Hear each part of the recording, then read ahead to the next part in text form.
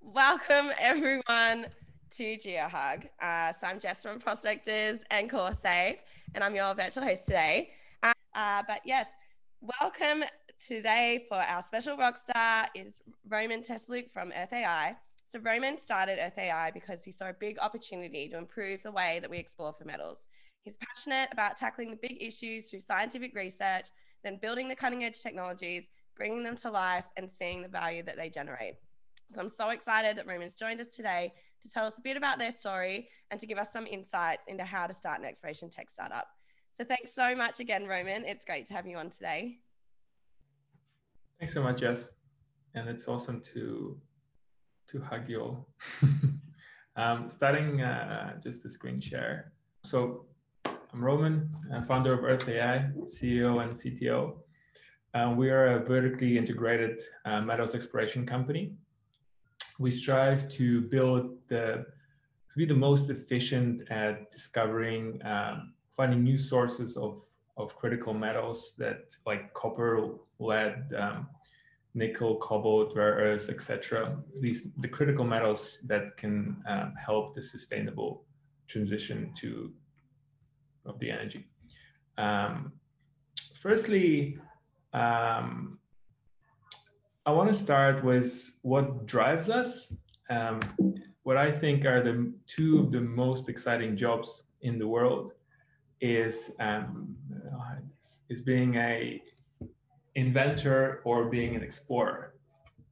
Explorers they leave their their houses and venture somewhere unknown to the middle of nowhere in the search of new worlds and new discoveries. And inventors they experiment with new methods and techniques and try to find some new knowledge and create and engineer new discoveries in in a sense of uh, kind of helping the world build something new.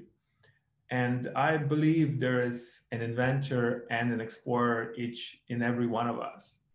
Um, and in this room like for the most of of this of this audience it's actually our job. Um, so why do we explore?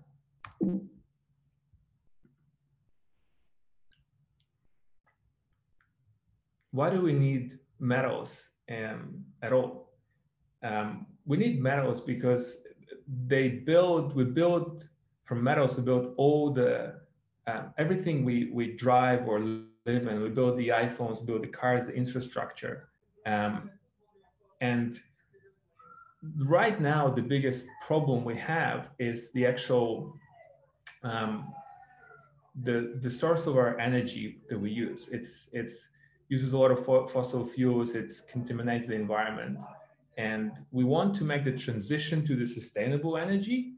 And to do that, it's it's actually requires huge amounts of of new infrastructure to be built. And we don't actually have enough metals produced right now to build all that infrastructure. Um, if you look at the current reserves, um, we, we only have maybe to cover the next two decades. But if we really want to be sustainable and, um, and have a clean environment, clean world, um, a lot of new discoveries need to be found right now the quality there's a the, the kind of the the trend of the last few decades is that the quality of new discoveries is is declining and numbers of new discoveries are is is, is declining. And firstly that is happening because over everything really obvious has been found and finding new deposits it's just like a tremendously hard scientific problem. Um, founding Earth AI, it is sort of, I thought about helping the world with this with this problem, and our mission is is actually finding new sources of critical metals to help the sustainable transition. Um, so to sum up, like what do you need to start an exploration tech startup? Well, first you gotta love what you do. Remember that spirit of exploration and invention, and you must just kind of love what you do. Two is you need to know it has a purpose. You're either helping someone or you're helping the world and everyone. uh, with what you're doing. And three is being ready to persevere and be patient. These um, these things take years, if not decades, to um, to to to kind of to get done. So it, you need to be patient and need to be you know have that perseverance um, to get it done. So it's it's it's a big it's a big it's a long haul. um, I'll tell you a little bit about about our story, my story. So I'm I'm Ukrainian. Um, i am a geologist. Studied in in Ukraine. Uh, worked a little bit in exploration in the Far East and and north of Russia, mostly looking for precious metals. Um, and um, then I I went there because I was excited about the frontiers and like the tundra and the beautiful mountains. Um, but then I also wanted to do to kind of create new methods of exploration. So I, that's how I got to Sydney in 2015 um, to start a PhD in the University of Sydney. It was focused on geochemistry and tectonics. And um, while doing it, I saw this big opportunity slash problem. Um, there is like when you're when you're researching, you can collect your own new data, but that's what everybody does, um, and it's less compelling to go and kind of go through archives of others and compile it all into this one global database. So there are piles and piles of this, you know, hundreds of millions of archive data points you're not in perfect condition, um, stored in different places, but there's so much knowledge in all this data that that you can learn from. And uh, if if one can combine all of that, then then you could you could derive some great insights. Um, I tried to pitch this as going to change my topic of research, but I couldn't. So I actually um, decided to drop out and start Earth AI and that's that's sort of mm, that's what I did. Um, moving on from just kind of geochemistry, we started working with remote sensing data and combining these two sources of data plus additional uh, other other types to create this target generator uh, system using AI. I guess what I didn't mention is there's a lot of data. You can't just go through it um, manually, you have to like we're talking about you know 400 million data points for a current database. You need an automated way to kind of go through the data and learn from it. And um, we started work, working on this technology. That was probably early early 2017. Um, and so we started working on solving this problem, experimenting, trying to find a way to build this target generator system. Um, once we starting to get this early success, um, we um, wanted to test it out and we needed some users. We thought the easiest way of entry would be to build a software as a service company. Um, so um, the interesting story is that I got a um, went online, got a list of ASX companies alphabetically and started cold calling everyone and offering our help and our services. And um, we started with a trial that converts into a paid subscription. So we had quite a lot of, probably like first 15 trials were all companies starting from A. and then we had a lot of Bs. It probably stopped at, at some somewhere around middle of the of the alphabet. Um, so um, the trials are going great. Actually, we, we started we started having some customers. Um, we were learning so much with the technology. We went from like little state databases to like continental database and eventually moving to kind of multiple continents. Um, the quality of predictions started to become better. Um, by the end of 2017, we raised our first seed round and we've done 80, 80 trials with ASX listed um, explorers and miners. And we wanted to move faster. We wanted to to go and and make discoveries are there are there are there for our for our clients to make discoveries or ourselves and it felt like you know we're not moving fast enough and you know maybe i was a little impatient but we that's whatever happened um, we so we we actually were thinking about the business model and obviously as a new business and new technology and that's a common problem that a lot of AI start, startups have is how to how to bring this value and, and change something. Um, how to how to do that. So we actually changed um, our model to doing exploration ourselves, uh, stop doing the, ser- the, the services, move to scan the whole state of Northern Territory, um, generated a lot of predictions. Um, started building our in-house operations, which are which are super proud of right now. Um, hired geologists, teams, started testing our targets, and you know the campaign turned out to be extremely successful because we went to completely greenfield areas. Super exciting. The rocks I've never seen before. Free, like vacant land that no, like nobody has a license on. No historical exploration uh, we tested 135 sites and 35 of them were mineralized. And that, that proved a 26% success uh, chance in success rate in this greenfield setting, which is, which is revolutionary. Um, so once we, so we, we, we got this pretty quickly, maybe in, in like in within six months of like two teams exploring just so quickly and probably spent like 250,000 on this whole this whole campaign, which is super uh, capital efficient. Um, we so we got there. We decided what we're going to actually do, who we want to be at this stage, and decision we took was to not stop here and take a mineral exploration as the whole and think about how to completely revolutionize it, how to how to help it help it how to what are the key issues? And and on one end is is like the quality of the of the land you're exploring and we wanted to bring some brand new sites that that are that are that have high potential. Um, and while moving through this kind of discovery process of understanding doing more mapping doing more surveying um, we eventually you know you end up to the point where you need to drill and get three-dimensional data. And the cost of drilling is really high and that is actually defining the a lot of it is defining the quality of the success of of the um, of the campaign.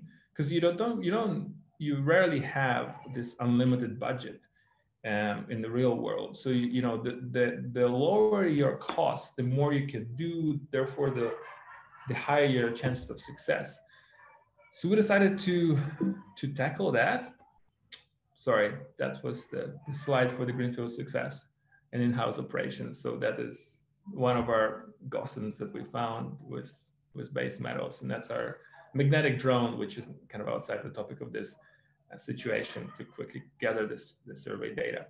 Uh, sorry, moving on to the low cost drilling. So um, this is me helping out in the research.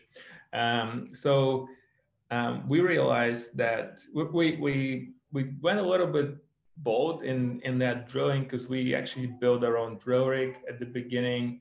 And then we, then we realized, understood completely how it's built and, and engineered. But at the end, we actually understood that there, there are two other issues in the drilling. That is the, that are the defining things right now. That probably the number one priorities before we re-engineer the drill is the the ground disturbance and the mobility.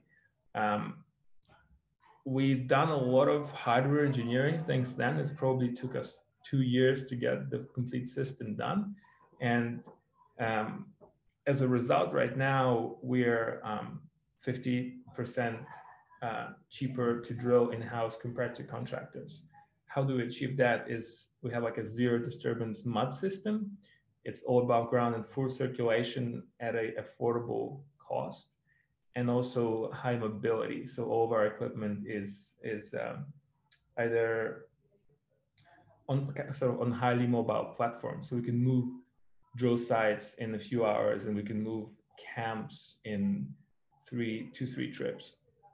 And that actually, when you think about exploration and drilling, um, drilling is obviously, you know, to get good rates, normally you have to have the scale of the campaign. But when, when I think about drilling, it's it's more of a kind of a way to get three-dimensional data. And when you drill, like when you get the core, you need that lag time to think. So so we actually kind of making this with this higher mobility and low disturbance, where we don't require any groundworks. We are unlocking this way of being more nimble and and acquiring different um, different points in different locations kind of much faster um, while keeping the cost low. Um, another thing that we that we realized is that um, it is much more efficient when you take an exp- looking at exploration as a whole. You have you want to okay, develop this funnel model um, where we start with a large amount of early stage targets, and then we gradually learn about them and mature the portfolio um, to kind of end up at smaller and smaller number of projects and eventually getting to drilling, getting to drilling for economic assessment and ending up with, with one project with um, world-class potential. And um, our our um, our plan is super exciting right now. Is we want to um, we were over the last four years we were um, going um, we were like building these stages one by one. So there was, you know, we first done the AI, then we done the geology, then geophysics, then drilling. And, and now we actually started this New South Wales campaign where we run the full funnel from top to bottom um, without, you know, just all together. And uh, that's great. You know, this, this year has been uh, not an easy year for anyone, but uh, this is super exciting that everything is coming back to life and we are able to do this. Um, what also exciting is, I guess, as I said, it, things take a long time, um, but you got to think about the ultimate big picture and uh, the future. And what is drives us is, you know, the prospect of something further away, um, exploring the other planets, that would be super cool. I think it's just like we can dream about this, and this could be our vision. And it's um, and you know we, we kind of align our technologies to be able to use them later. But I think it's just gonna be so exciting in the future. Um, I like to talk about that. I think it's really cool. Um, lastly, I want to just thank our team. It's um, it's a like the adventures we go through you would never survive alone. And and um, so so i really thank our team uh, for all they've done. This is not the full team by the way because geographical restrictions we have right now but um, just wanted to say I love my team. Um, without you can't survive. With you we can survive any crisis. Um, thanks so much. That's that's it for today. Thanks so much for sharing with us. Uh, did anyone have any questions? We got a awesome talk. Very interested to hear more about the startup. Um, how do you account for false negatives? Example, incorrect geological interpretations, models, and poor sampling. Yeah, so um, we have, well, so um, there, there are two questions there. One is like AI startups, there, there's actually probably half and half is work. One is you work on the technology, the other half you work on the data that you feed in.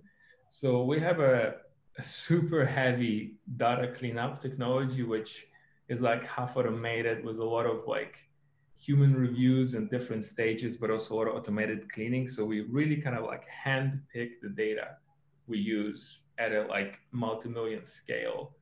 Uh, that's sort of one. Two for more like a false negatives. Uh, I guess maybe okay, there is a three. But so the, the first two is the when you are making the predictions of for, for where do you go, like we run the cross validation and all the traditional machine learning techniques to um, precision recall to kind of quantify um, the kind of distinguish between the predictions, which one is better, which one is worse. And we try to look for clusters that are kind of um, spatially coherent. Um, and obviously, we would prefer a high precision cluster over a high recall cluster. Um, but you know, eventually, when you run out of high precision clusters, we go for high recall. Um, and the thirdly is the actual kind of on the ground success rate. And for us, for us, really, I think when you bring cost into the equation and you're okay, strategically okay, to have um, to have the kind of to test a lot, because I feel like you know if you're going with a portfolio, you have to test a lot. You have to test hundreds of targets. Um, in in that case, you know, we actually think like overall that that campaign we done before, it was a ten thousand dollars cost per prospect discovery with significant surface um, geochemical anomalies. Uh, I think that's that's a pretty affordable price to just go with 26%. I think it's actually quite great. Excellent. Um, are you doing brownfield exploration as well, or is it just greenfield? Am I doing? Yes, yes, we do. Um, like in this new campaign, we actually have a few projects that um, have had some previous work done on. But for us, you know, we still want to make sure we have the value to add. And, and in in our sense, it's it's the better analysis of kind of predicting. So if you have a, like the major project you have, we want to when we get in, we want to know um, find some extensions, try to predict where it goes, try to generate some new knowledge. Um, and there's some other technologies that, that we build like Gasket to understand the deposit itself. Um, also, I guess obviously the lower cost of drilling means we could drill more holes to have more chances to explore the brownfield. So yes, like right now we do have a few brownfield projects as well in the in the portfolio. Excellent. Um, did anyone else have any questions? You're welcome to jump off mute now as well. We can just have a bit of a chat, um, have some discussions. Anyone? Yes. Can you hear me? Yeah, Michael. Yep. Um, I I dropped out. I mean, I was dropped out, uh, so I missed, unfortunately, missed some of the start. How um, can we have some clarification on the 26% success rate? How was that measured? What constituted a success? Yeah, so in that sense, we are the, the model is built to predict um, geochemical anomalies above uh, 500 ppm. It depends on the model. So if we're going and we're finding a prospect that has about 500 ppm uh, copper, for example, we are training for 500 ppm copper. We get that in the soil or a rock in a consistent manner over a consistent area of like maybe two, 300 meters strike was, you know, good enough width. Um, we call that a, a successful target validation and the, the number is just by target tested divided by targets validated. And, and I apologize again that I missed probably what I'm about to ask, but the that was in the Northern Territory. Yes. And and you took no account of the geology. You just sort of did it blind, or how did you select the areas? Yeah, so this is just blind. So that as you, you missed the, the funnel, but so the, the first stage is this sort of greenfield targeting. That is what we do first. We just go from our predictions to the available land, obviously goes through the compliance where we can actually access and explore further. And we are just going and testing our targets. It takes uh, probably half a day to access, and we do like a, a soil grid pattern, trying to identify either either um, you know high geochemistry or some or related mineralogy. And uh, so we do like one to two targets a day, and just yeah, that's how it works.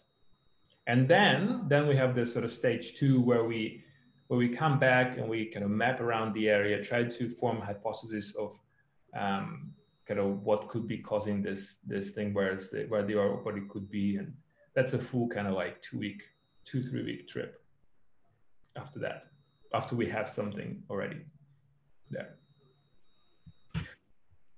and maybe to to that, it's like a it's a very kind of precise targeting. So it's like the targets we have, they're like in the vicinity of like 500 by 500 meters on average. So we go kind of straight to it. We go, we do the testing, we send the samples to the lab. If they come successful, then we come back and do the mapping. If they don't come successful, we found nothing, we just move on. Heaps of great ones coming through on the chat. Uh, so, is your exploration funded by industry partners? If not, what can you do with your findings?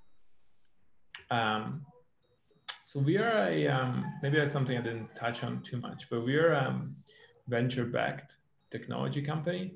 Um, our business model exploration, but uh, our funding comes from venture capital. Um, right now, it's mostly Silicon Valley as we move the headquarters uh, to San Francisco. Um, and the second part is um, what can we do with our projects? Um, so we're focusing on the early stage of exploration when we when we when like our projects mature to, like mature to the point where um, it comes to kind of resource definition and feasibility. That's when we want to um, divest them into into some partners who want to develop them further. Okay. Um, what sort of data do you use and where are they sourced from, example, in New South Wales?